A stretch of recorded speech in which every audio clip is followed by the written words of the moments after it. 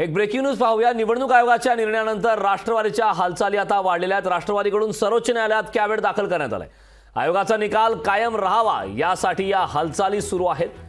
निवडणूक आयोगाने खरं तर अजित पवार गटाला चिन्ह आणि नाव घोषित केलं.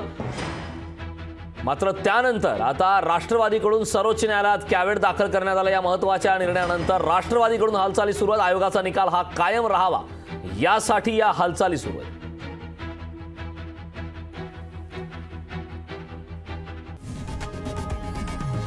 लोकशाही मराठी.